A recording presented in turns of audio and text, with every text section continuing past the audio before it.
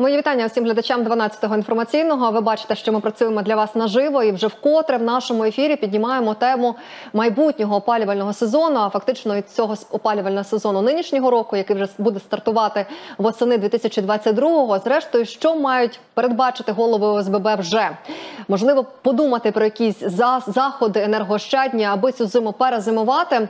Тож маємо нагоду про це не тільки розпитати в голови ОСББ Вікторія Луцько-Дин е, і члена виконавчого комітету Луцької міської ради Петра Бойка у нашій студії наживо. Мої вітання вам. Вітаю. Ви знаєте, не дарма сказала, як ми будемо перезимовувати, тому що вчора говорили з представником е, енергоефективні міста України, що вони можуть порадити. Але ось зрештою, е, як ви до цього вже готуєтеся? Я по-простому запитаю, чи бачите якісь загрози і виклики, які ставить перед нами і НАК Нафтогаз і уряд, який занепокоєний ситуацією?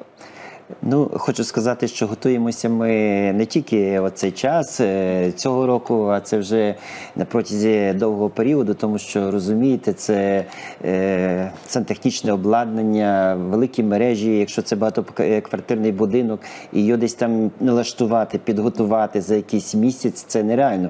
На це все треба великі кошти і так далі. Але якщо робити десь там е, чуть-чуть одного, другого, третього року, і на протязі деяких років вже ми побачимо ефект від того, коли будуть поміняні труби, коли будуть утеплені труби. Коли ну тим більше буде встановлене ІТП, індивідуальний тепловий пункт, коли будуть закриті всі вікна, дірки в підвалі, в горищі, під'їздах, е, вхідні в двері і так далі, то тоді ну, ефект, е, зрештою, тільки він через деякий час е, буде. А спочатку все ну це нереально просто. Але там, де в тому будинку, де є відповідний господар, який вболіває за свою справу, він бачить всі недоліки в, в сантехнічному обладнанні і так далі. Він це все е, ліквідовує, ці аварії і так далі. І я думаю, що ефект з часу він обов'язково буде. Е, Щодо тих викликів, які перед нами стоять, е, я вже почула до них підготуватися за місяць фактично нереально. Так. Але чи ви занепокоєні ситуацією, яка може бути в період середини жовтня, якщо впаде температура середньодобова? Ну, дивіться, е, хочу сказати вам, що ми звичайно занепокоєні, тому що за нашими спинами доля багатьох і багатьох людей. А в будинку е, живуть і старші люди, і маленькі діти, і так далі. Тому ми всі вболіваємо за те, щоб цей опальний сезон пройти якомога краще, легше, щоб в будинку було тепліше, щоб було менше скарг і так далі. Е, Що ми бачимо на даний час, яку картину? Ми бачимо, що в країні йде війна. І відповідно, якщо йде війна, значить е, ну всякі показники життєдіяльності людей вони звичайно погіршуються. І це ми бачимо вже на факті, коли ще немає опального сезону, люди переїжджають, втікають від війни і так далі. Ось що я бачу, що нас чекає. Ну, з досвіду, з практики. Я не буду сьогодні говорити про цифри і так далі. Є на те відповідні люди, міська влада і так далі. Я щось так дивлюся на цю ситуацію і все ж таки хочу за, за- ну, заспокоїти людей, все буде гаразд, все буде добре. Е, дивлюся і цікавлюся цією всією інформацією, яка надходить з кабінету міністрів, від владних кабінетів е, області, міста і так далі. Я думаю, що в цьому році опальний сезон не розпочнеться 15 жовтня. Якщо ми минулі роки розпочинали навіть і 5, і 10 жовтня, е, закінчували опальний сезон десь і 6 квітня, було навіть раніше. То я думаю, що цей опальний сезон він е, розпочнеться трошки пізніше, можливо, 1 листопада. Я пам'ятаю одного року, що е, запустили всю систему, але потім на два тижні ще відключали. Це десь років було 4, напевно, десь так. Я так думаю, що опальний сезон закінчиться рано. Дай Бог нам до того періоду ще дожити, але я думаю, що все буде добре. Я думаю, що е, температура, та, як і кажуть е, можновладці, в будинках буде понижена. Ось е, А, ну, до речі, наскільки от е, завжди була температура плюс-мінус середня е, в квартирах, і ось тепер говорять, ви знаєте, вчорашня заява Юрія Вітренка, очільника НАК Нафтогазу, записатися ковдрами. От знаєте, от я не знаю, як це сприймати. От ще вас запитаю, пане Петре, це як? Це там буде 15, 16, 14? І скільки було? От пригадаємо. Е, Ну, хочу сказати, що дивлячись, який будинок, дивлячись, який поверх, була велика різниця. Е, Коли будинок здається в експлуатацію, там відповідно все збудовано до е, будівельних норм і так далі. Якщо ми беремо, наприклад, дев'ятий поверх, якщо це подача йде е, зверху, верхня подача, то там, наприклад, батарея була довжиною 50 сантиметрів. На першому поверсі була батарея метр 50. І це відповідало нормам, і температура була збалансована що на першому, що на дев'ятому поверсі. Зараз люди, коли стали втручатися в роботу і в самі мережі, відповідно, може бути так, що на дев'ятому поверсі стоїть батарея півтора метра, і те саме на першому поверсі. І тут вже виходить дисбаланс. І тому може так. Де буде холодніше і де тепліше? Е, На дев'ятому? На дев'ятому, звичайно, що буде тепліше. Так, Тепліше. так. Якщо це нижня подача, це буде на першому тепліше. І тому в будинках була різниця, велика різниця. Наприклад, на дев'ятому поверсі може бути 25 градусів, а на першому поверсі може 18 бути. Я вам хочу сказати ще одне. Е, З мого досвіду, ось е, е, опалювальний сезон 20-21 року і опалювальний сезон 21-22 року ну, ну, відрізняється по всіх показниках, скажімо так. Якщо в 20-21 е, опалювальному періоду було дуже багато скарг. Люди масово е, жалілися на те, що десь там, е, там холодно, там гаряче і так далі. Ось то в цьому, ось в минулому вже опалювальному сезону цих е, таких проблем ну і, близько того не було. А чому так було? Тому що той попередній опалювальний сезон не в всіх будинках. Я якось мої будинки знаходяться все ж таки на 33-му кварталі. Були в одному будинку встановлені ІТП, в другому не були. І розумієте, тут між будинками вже пішов дисбаланс. Там, де встановлені ІТП, ті будинки забирали те тепло, а тим, де не було встановлені, вони залишалися. Ну мізер їм е, того тепла доходило. І тому люди скаржаться, коли вже в цьому опальному е, періоді, ну перед опальним періодом, встановили буквально от 33-й, 40-й е, квартал в кожному будинку індивідуально теплові пункті, воно набагато покращило якість проживання людей в цих будинках. Стабілізувалася температура, е, велика економія була, і більш-менш було вирівняно подачу. Ось і люди споживали е, тепло, що на 9-му, що на першому. Ну можливо, якась там різниця була, але цей опалювальний сезон завдяки Луцькій міській раді, завдяки Луцьк тепло е, комунальним підприємству вдалося стабілізувати цю систему. І я бачу, мені не треба ходити по квартирах і питати людей, чи вас тепло, чи не тепло. Я бачу, як надходять скарги. Е, Це було ну, ну, геть відмінно від опалювального сезону, коли все було нормально, скажімо так. Як буде цього року? Якщо не буде взагалі газу, знаєте про це ще говорять, тому що він дуже дорогий. Ми ще досі не знаємо ціни газу. Мало того, щоб його купити, про це навіть нам Канада готова виділяти гроші. І Канада, і Швеція. Так, воно, ось навіть так. вони заявили. Так. Я просто найгіршу ситуацію. Є ІТП, але газу немає. Дивіться, Що я вам буде? хочу сказати, газ буде. Ну я не хочу налаштовувати людей на те, що все е, апокаліпсис буде і так далі. Не буде цього. Все буде добре, все ми переживемо. Єдине, що е, можливо, можливо десь бути перебої. Я думаю, що газ буде. Ось якщо ми е, пізніше почнемо опалювальний сезон, раніше закінчимо. І, мене ну, методах заощадження. так, правильно? так, так. І ось е, от директор Луцтепло каже е, Іван Анатолійович Скорубський, що десь обмеження на 10% е, газу буде в цьому році. Якщо десь буде понижена та температура, ми переживемо. Нам треба готуватися до того, тому що війна. Ми не відчуваємо тих жахів і з тих страхів, які переживають люди там на сході, на півдні. Нас тут все дякувати Богу, все гаразд, все добре. Я думаю, що десь трошки ті параметри будуть понижені, і в цьому ніяких проблем не буде.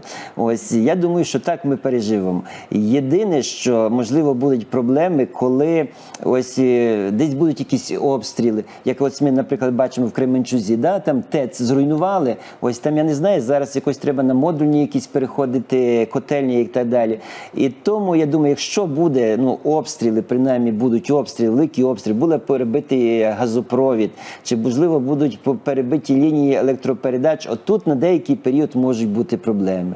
От тут Поки е, не полагодять. так, поки не полагодять. Да. Дивіться, пане Петре, як ви думаєте, саме в зв'язку із цими можливими перебоями е, наша міська влада, і, зокрема, очільники всіх міст, там і Львова, Івано-Франківська, думають зараз про такі запобіжні заходи, передбачити там модульні котельні, звернулися до організації USAID, так, так, так, з так. приводу там дров і буржуйок. Це такий на всякий випадок. Звичайно, на всякий випадок. Бачите, навіть і цього опалювального сезону, десь там е, раз чи, чи два, коли обстрілювали аеродром, там на деякі на, на день, по-моєму, що відключали опалення.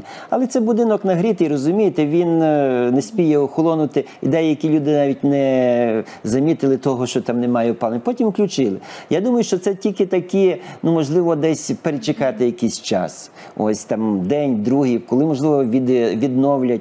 Ну я не буду сьогодні про такий песимістичний. До речі, ми забули про це. 24-го дійсно було повідомлення від Луцьк тепла, що система була припинена щодо е, теплопостачання, правильно в будинках. Е, 24 Так. серпня?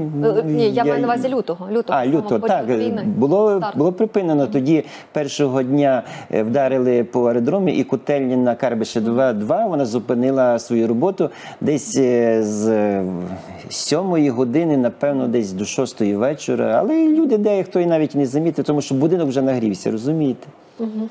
Дивіться, я все ж таки про ці такі найгірші варіанти. Знаєте, Ем, е, вчора ми в нашій студії цій говорили про те, що люди мають собі подумати, особливо зараз голови ОСББ.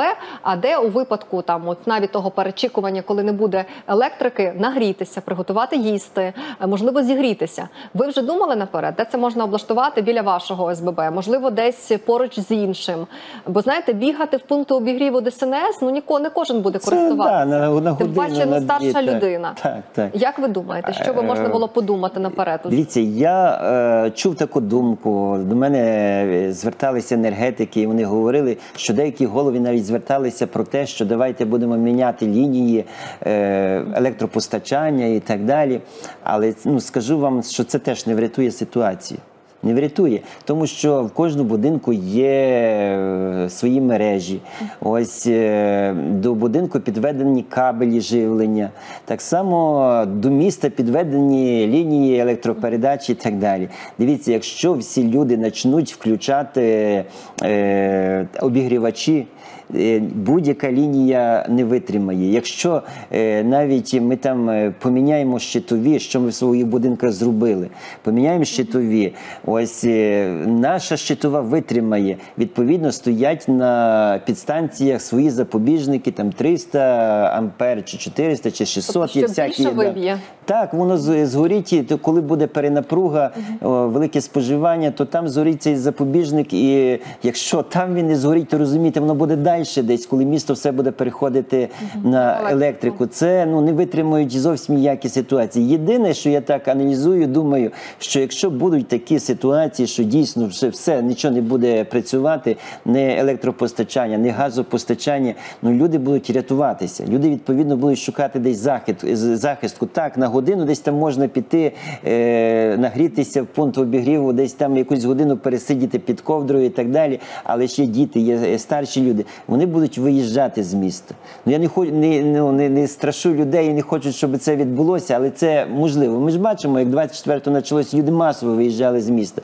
Десь багато людей, які е, можуть виїжджати по селах, ось де в будь-який час там є вода в колодязі, де є грубка, де можна обігрітися, деякий час пересидіти. Є багато людей, які мають е, ну, дачі. Якщо ці люди ну, можливо виїдуть на дачі е, по селах, то можливо тоді такого споживання, я так думаю, вже по електроенергії не буде. Тоді можна десь можливо вона ви- витримає, якщо, наприклад, 50% е, будинку людей живе. Але якщо не буде газопостачання, якщо не буде електропостачання, ну тут, е, Палатка і буржуйка. Полутки, пала- ну, ви ж бачите, міський голова сам каже, що ми купляємо е, заздалегідь. Ну бо це ну така ситуація. Якщо там, наприклад, маленькі будинки, там два поверхи, там шість квартир, що ну можливо вони десь там можуть е, десь якісь там е, поставити Бочку з, е, так, так. е, ну але якщо в будинку е, 170 квартир, наприклад, і почнуть всі, ну це ж нереально розуміємо.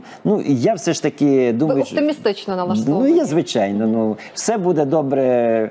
Думаємо, що до того часу можливо навіть війна закінчиться. Ну а якщо не закінчиться, я думаю, що сюди не дійде. Єдина загроза я бачу в тому, що можливо будуть і обстріли, щоб Інфраструктура, так. правда? От і бачите, і це можливо сьогодні нас ще нас наштовхує на те, що, наприклад, от такі котельні великі, ось як на Карбишева 2, ось е, можливо, ця ситуація нас спонукує до того, що треба переходити на якісь е, модульні котельні, наприклад, на будинок, на два, чи так само на тих центральних теплових пунктах, на бойлерних, десь е, робити ці такі підстанції. От бо розумієте, одну таку можна, це воно сказати на, на контролі. Вони можуть її обстріляти, тому що ну, е, людей налаштувати 100 проти влади. уявляєте, заведено на одну Так, котельню? так, на одну Плюс- котельню. Плюс-мінус, так? Та 100 тисяч то- людей. Так, розумію. А якби таких котелень було ма- малої такої потужності, наприклад, 10 чи можливо 20, ну не кожного обстріляєш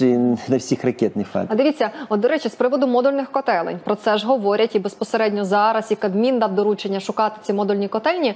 Просто багато хто не розуміє, а що це за такий е, механізм. Е, Це виходить до цієї е, мережі теплопостачання. Приєднується якийсь додатковий умовно величезний котел, який може забезпечувати декілька будинків на своїй розетці. Чи як Е, це? Дивіться, це, наприклад, от є е, з беремо знову ж таки Карбишев 2 котельню в самому великому місті. Е, Вона постачає що централізоване теплопостачання, що гарячу воду, ось і 55-й е, мікрорайон, і 40-й, і 33-й, і так далі. Вона постачає це тепло чи гарячу воду на бойлерні. На бойлерні там, і там насоси стоять і прикачують і далі, скажімо так, в будинки. Ось. е, То це задіяно водопостачання, електрика, так, газ, холодна всі вода, енергоносії так, зведені так, на так, котельню. Так, так, да. Ось і дивіться, якщо там поставити якісь ну котли малої, наприклад, потужності, наприклад, на обігрів там декілька будинків, чи от чи на один будинок, це дивлячись вже ну по Це як автономне опалення, тільки не хати самої чи квартири, а як е, окремо автономне Так, опалення так, так. для, наприклад, от вашого СББ, де є чотири під'їзди. Так, дивіться, ну ще як варіант, е, багато людей, ну не багато, але такі е, випадки вже є в місті, коли люди відмовлялися взагалі від централізованого теплопостачання, теплопостачання. Вони переходили на котли в кожній квартирі, скажімо так. Тоді Автономні автономні, да. Але це можна робити тільки з е, відповідно до законодавства, коли весь будинок відмовляється. Тоді е, глушаться ці е, е, трубопроводи. Ось і кожна квартира ставить свої котли. Ну вже декілька випадків такі в місті є. Ну але ж це ну, за два-за три місяці ніхто е, вже не вспіє їх зробити. Ну але ж я думаю, що десь ця війна, ця ситуація, вона докорінно змінить наше життя в майбутньому. Будуть е, е, якісь нові технології. Бачите, сьогодні вже навіть Європа говорить про те, е, говорили про те, що атомні електростанції треба їх вже виводити з експлуатації. Сьогодні говорять про те, що вже треба нові будувати. Десь можливо, от за ці модульні котельні, що я кажу, можливо, оці сонячні е, батареї і так далі. Життя іде, і це всі енергоносії вони будуть дорожчати з кожним часом. І це спонукає нас до того, і ця війна, щоб ми шукали нові е, е, ну, постачання енергоресурсів, енергоресурсів в будинок, ну і так далі. Ну і відповідно економії. Економія ще хочу сказати, що залежить не тільки від обладнання, як воно там працює, бо розумієте, е, можна відремонтувати, поміняти все можна, але я дивлюся. Дивитися так, е, ось на поведінку людей. Часто з людьми ще важче працювати, як з тим обладнанням. Тому що можуть відкрити двері ногами, а закрити не обов'язково. Ось, ну, Я одразу ще повернуся в вашому е, якраз е, відповіді вашій з приводу втручання в електромережі. Знаєте, коли весь будинок там умовно обімкне е, кондиціонери, а зараз усі почали говорити про теплові насоси, які можуть нагріти навіть в мінус 20, Правильно чи мають голови ОСББ передбачити якийсь графік чергувань? Ось на випадок такого увімкнення, знаєте, щоб люди знали, що якщо на поверсі є умовно 6 квартир, ми не всі вмикаємо. Або питаємо сусідів, ви вмикаєте, або той вмикає, щоб там не- повибувало нам пробки, як умовно всі говорять. Це можна вже думати про це наперед? Ну, можна, щоб якусь черговість там встановити, але ж думаю, що це ну, малий ефект буде, розумієте? Люди не послухають. Звичайно, кожен буде е, старатися, щоб вімкнути, щоб чим більше е, ту ковдру на себе натягнути. Ну, це можна робити, але я думаю, що це нереально. Це ви як голова ОСББ, який знає, як працювати з людьми. Так, це люди. Одразу ще на продовження виникає питання. Кожен знає, що часто в будинку пропадає вода, і всі завжди скаржаться на насосне обладнання, яке стоїть там в підвалах. Так, от не працює насос, пропало живлення. Я розумію, вода не постачається. Так. Мали ви передбачити якісь генератори, великі, там потужні, можливо, новобудови, в яких створені ОСББ, в яких є управителі? Чи це не допоможе в цьому випадку? Ну, Бачите, е, генератори це не ми повинні ставити. От на тих самих бойлерах стоять насоси. Ось і там, е, там їх треба ставити. Бо ну, в будинку, можливо, є декілька будинків, де в будинках є підкачка. Десь не вистачає потужності, щоб, наприклад, підкачати на дев'ятий Тиску поверх. якогось, так, правильно? тиску не вистачає, тоді ставлять насоси додатково в будинку. А от е, вода ж постачає з тих самих бойлерних, десь ті насоси, десь там далі вони стоять не, не в будинку. Тобто в будинку генератор не врятує. Ну, звичайно, що не витує. Ну, можна генератор поставити як варіант. От е, в себе люди закупили там е, в квартиру і вони включили там, принаймні, хоч можна телефони зарядити. Якщо навіть вже все повибиває, то можна, ну там буде цей працювати обігрівач. Але уявіть собі, знову ж таки, коли кожен почне ці генератори тягати по квартирах, по поверхах, в кожному квартирі будуть ці генератори, всі будуть гудіти. Е, Це ж і небезпека, бо це бензин і так далі. Це ну нереально. Я рахую, що це нереально. Ну, бачите, ця е, ситуація, ця війна в нас багато чого навчить. Десь ми будемо по-новому думати, як виходити з ситуації, як готуватися. Ну, але на даний час е, маємо те, що маємо. Я взагалі, от ще навіть далі на продовження буду питати. Сьогодні в мережі після звернень з'явилося, знаєте, дуже багато повідомлень і е, з продажу буржуйок, з продажу сухого спирту, іншого такого обладнання, яким можна обігрітися. Навіть я вам скажу, навіть є такі обігрівачі, в яких е, дійсно як генератор заливається там диспальне, і фактично через гофру, яка виводиться через вікно, можна себе нагрівати. Взагалі, ці методи для кого вони? Як ви думаєте? Це для будинків приватних? Це аж ніяк не для квартир? Ну, приватних, звичайно, приватних. Уявіть собі, хоча я бачив колись, е, ну, 90-ті роки, коли от е, це ну не Луцьк, але такі м, е, селища міського типу, я колись бачив в Маневичах, проїжджав. Розумієте, там так само були е, десь там, е, е, коли біля будинку викопувалась яма, там ємкість якась ставилась, закачували газ, і вони обігрівали, використовували цей газ. Тобто, що не в кожній квартирі стояв там балон.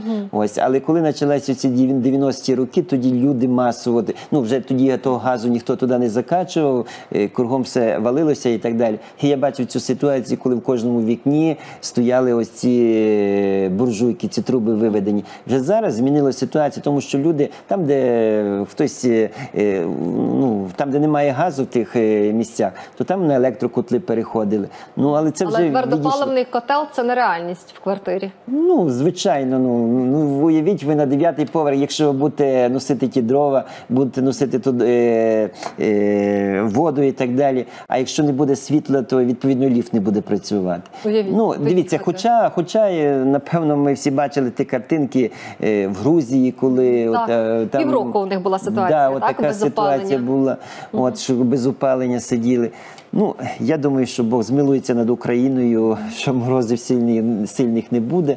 Будемо рятуватись. Ми є українці. Якщо, наприклад, там когось є село, я думаю, що можна і прихистити ще свого сусіда. І ми завжди один одного виручали, завжди один одному допомагали. Я думаю, що з Божою допомогою ми проживемо і цей період. Все буде добре. Я от зараз ще до інших звернуся мешканців, ті, хто нині управляються ЖЕКами, а не мають ще, наприклад, створених ОСББ, так ну там ситуація інша. Ну погодьтеся, і не в кожному будинку є ІТП, і не в кожному будинку хоче там е, мешканець закрутити ту чи іншу лампочку, чи довести той доводчик до дверей, який буде закривати ці двері. От таке, знаєте, мінімальне. От навіть заклеїти вікна е, на східникових майданчиках, якщо там з них сифонить, заклеїти, можливо, скотчем там, де вони пробиті. Можливо, ще щось можна скотчем заклеїти, щоб звідти вітер не дув. Що можна видумати зараз? Які засоби Е, такого, особливо що стосується старого житлового фонду? Дивіться, я вам скажу. Е, Коли я прийшов в будинок, е, скажімо так, е, вікна старі були, ці радянські, без шибок. Отакі пробиті посередині Так, так, завжди. горище все, сквозняки проти ікром гуляли, підвали всі не, не закриті і так далі. Ми почали на горищі, там, де ті пташки, голуби залітають, скажімо так, позакривали всі вікна. Ось підвала. в підвалах. Ні, ні? ні, Просто вікна, вікна? металопластикові вікна А ставили. якщо Вони немає невеличкі. варіанту, плівкою можна забити? Ну, можна, чого ж не можна. Ну, Можна. Щоб вітер принаймні не гуляв там. Позакривали підвали, е, позакривали вікна, поміняли в під'їздах. І от зараз е, мене в одному будинку так само міняємо вікна своїми силами вже міняємо, тому що ну, тепло треба зберегти. Але скажу вам більше ще до того, старий будинок, де ось іде. Який будинок, до речі, якої, якого періоду забудова? 70-ті? Оце молоді? Е, 76 79 роки це забудови. Вікно десь приблизно 30 на 50 е, сантиметрів. Рядом іде труба, опалення, вікна ніякого немає. І що ви думаєте? Стали міняти те вікно, там підняли такий шум. Для чого? Це треба, щоб е, котики лазили і так далі, там грілися. Я показую, навіть в мене є на телефоні, я сфотографував, рядом іде труба. Уявляєте, зараз буде 20 градусів морозу, е, воно порве ту трубу, воно не витримає, тому що мороз. Ні, треба, щоб так, ну, з боєм пополам, скажімо так, закрили все. Ну, тепер люди дякують, от ми на першому поверсі, у нас ніколи так тепло не було. Розумієте, такі маленькі справи, закривати ті двері, е, утеплити вікна, утеплити, ну, щоб не було ніяких дірок, ніде протягів. Ну, кожен повинен зробити е, сам щось для себе, для свого комфорту. І якщо кожен так відповідально буде е, відноситися до свого житла, ось е, е, маленьке щось навіть зробити, і то вже буде ефект в тому. Уявляєте, коли все закрито, ніде немає ніяких, то навіть якщо на вулиці буде 20 градусів морозу, ну то такі вже буде в самій квартирі не буде 0 градусів, коли все утеплено, розумієте? А скажу ще простими такими словами, де найтепліше? От е, навіть якщо от ви кажете все закрито, і будинок, знаєте, такий як термос, фактично, так, от закутаний. Так, Е, Тепло в квартирах е, на, на, на нижніх поверхах чи на верхніх, коли вже нічого немає. Де як, як втрачається тепло? Чи тепліше на східникових майданчиках? Ні, ні, найтепліше. Ну є- ми говорили про те, що е, теплоносій подається, наприклад, дев'яти- дев'ятиповерховий будинок. Найтепліше зверху. Зверху. Але якщо все от збалансовано і так далі, відповідно температура подача теплоносія воно е, відповідає, що на дев'ятому, що на першому поверсі одинаково. І там подача, наприклад, е, скільки там 50 градусів, і на першому поверсі 50 градусів, то найтепліше буде всередині, скажімо, коли середній під'їзд, наприклад, візьмемо п'ятий, четвертий поверх, О. тому що кругом сусіди, тому що кругом все обігрівається. Правильно, тобто ще треба дивитися, е, чи над вами гріється, і чи збоку гріється, і тоді ви всі разом грієте і своє помешкання Так, заодно. так, Бо якщо знаєте, всі повиїжджають навколо, то як би ви там не грілися в цій квартирі, точно буде холодно. Так, Е, Ще один момент мене цікавить: Е, як швидко взагалі, от знаєте, вистигає будинок? От уявімо собі ситуацію. Ми теж говорили з паном Іваном Скорубським на випадок, там, якщо з ладу вийде один із контурів захисту котел. Котельні, а це там малий тиск газу, неподача електрики. Зрозуміло, що можуть злити е, з води е, воду з системи. Системи, так. Е, Що робиться тоді з будинком? Ну правильно, воду злили. Система в нас убезпечена, її не порозриває. Правильно я розумію. Е, Але що з будинком в такій Ну, ситуації? е, оця ситуація, наприклад, коли обстрілювали 24 лютого, потім ще раз, але там вже на, на зовсім маленькі якісь такі терміни відключали на декілька годин. То відповідно е, за цей період ніхто не буде зливати воду з системи, тому що ну є надія, що от е, через деякий час включать. Е, Зрозуміло, коли вже побачимо, що все обстріляно, перебиті газопроводи, перебиті лінії електропередач, і за день, за два, за три, ось це не відремонтується. Тоді відповідно команда поступить, щоб злити воду. Бо Це радикальний метод, до речі. Ну, це вже звичайно, це вже крайній метод, тому що якщо не зільємо воду, е, ну якщо в квартирах вони там ці батареї не розмерзнуть, то по підвальних приміщеннях може десь прихопити. По вулиці, там, де йдуть, так, Ну, по вулиці я не думаю, тому що вони йдуть і в землі. Ось ми бачимо десь е, весною сніг розтає де, там, де Мережі. мережі, так. Але в підвалі на горищі можете, йде верхня розводка, може полопати труби. Це вже крайній метод, коли зливається вода. Але так, я думаю, якщо, от, наприклад, місяць будинок обігрівався і ну, все, команда поступила злити воду. Ну, я думаю, що десь на протязі доби вже дасться знати, що ну від, да, від багатьох факторів, як будинок утеплений, Е, ось яка яка, температура температура, на вулиці. Да, оце від багатьох факторів. Бо розумієте, якщо от навіть, е, е, скажімо так, е, приблизно собі зорієнтуємо е, таку ситуацію. Наприклад, 5 березня на вулиці там температура е, мінус 2, плюс 5. Ну ніхто не скаже зливати е, з системи воду, тому що ну, вона не розмериться. Але як, наприклад, в січні ось і температура на вулиці мінус 15, то і ми розуміємо, що на протязі там двох-трьох днів ніхто не відновить цю подачу. А температура стоїть по прогнозу, Так, по так. мінусах. То тоді, да, тоді є небезпека, що це може статись. Тоді я думаю, що поступить команда зливати систему. Бо ми пам'ятаємо, ось Алчевськ е, вже окупований він на даний час, коли вся Україна відновлювала. Десь прогавили той момент, і по всьому місту Розірвало розірвало все. Кожне місто, кожна область була закріплена за якимось будинком, коли з всієї України з'їжджалися зварювальники для того, щоб відновити ту систему.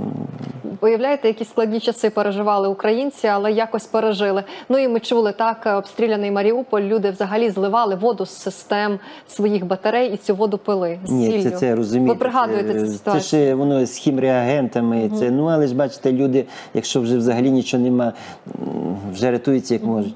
Ну, ще ми переживали ну, і війну. Я пам'ятаю, е, ця 41-45 років, коли моя мама розказала, десь там в лісі ховалися на протязі трьох днів, листопад місяць, маленькі діти, піщали ті діти. Нічого. Перебули, поховалися, е, ці обстріли закінчились, повернулися. Нічого. Ну, українці вони рятували, повна хата людей було і сходу приймали. Ми, українці, ми підтримуємо один одного. Я думаю, що ну, звичайно, небезпека є, тому що ну, наше покоління ми ще такого не переживали. Ми не знаємо, як е, від до цього відноситися, але якось пристосовуємося до ситуації. І я думаю, що ну. Ми завжди перед кожним опальним сезоном десь лякаємося ми їх себе, як буде, як буде.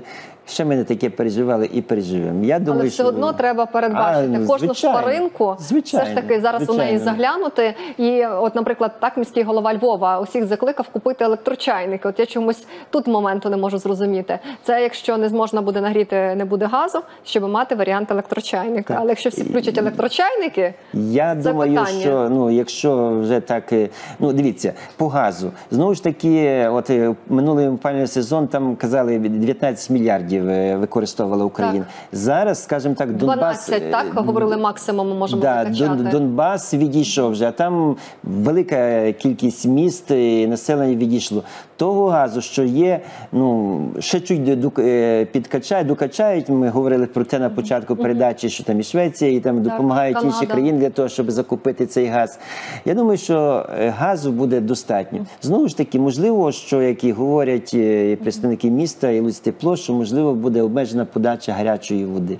Ну то тоді вже прийдеться чайниками гріти. Але це за умови, якщо опалення буде, тоді можна чайником нагріти. Ну уявляєте, коли не буде опалення, коли не буде електропостачання, то що ті чайники? Так, дивіться ще один момент. Запитаю. Е, Президент України підписав е, документи і закон з приводу мораторію на підняття комунальних послуг. Ось це в період війни. Це плюс. Тобто, ми не будемо бачити підняття, я так розумію. Ну це звичайно, що, Тобто, за е, що навіть плюс. яким би той газ не був дорогим по тих мільярдах, за яких Так, його так, купують, так. ми за нього будемо платити стільки, як завжди. Ну так, ну от ті тарифи, які є, ну відповідно до цього закону, вони зберігаються. Але там кабінет міністрів має теплопостачальним організаціям відшкодувати ту різницю. Якщо ви купили, наприклад, за 2 тисячі ось е, е, доларів е, тисячу кубів газу, а вам продають там за 200, то цю різницю 1800 кабінет міністрів повинен відшкодувати. Ну, Теплопостачальним компаніям. так, так. І в цьому році ці були проблеми, були звернення від Луцької міської ради, але ж нічого, дякувати Богу, прожили. Кажу, оце, що встановили ці ІТП, воно величезний ефект дало і людям, і економія.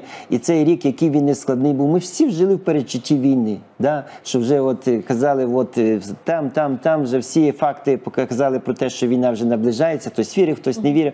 Але ми цей рік прожили. Ми нас лякали, що високі е, тарифи будуть і так далі.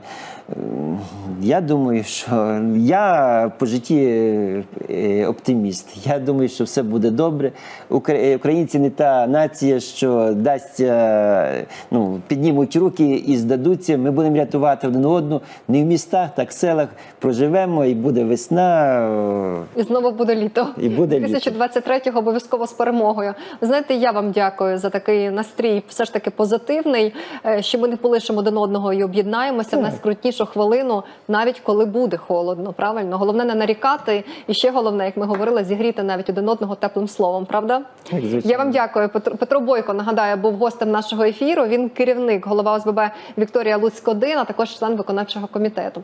Дякую вам за ефір наживо і усім глядачам. Вкотре нагадую, перегляньте цей ефір на нашому ютуб каналі під назвою «12 канал. Ми туди обов'язково зальємо його буквально через трішки. Будьте з нами. Ми намагаємося інформувати вас про найоперативніше. Ну а саме зараз, уже як то кажуть, сани влітку готуємо до зими, яка вже не за горами. Будьте з 12 інформаційним, не перемикайте.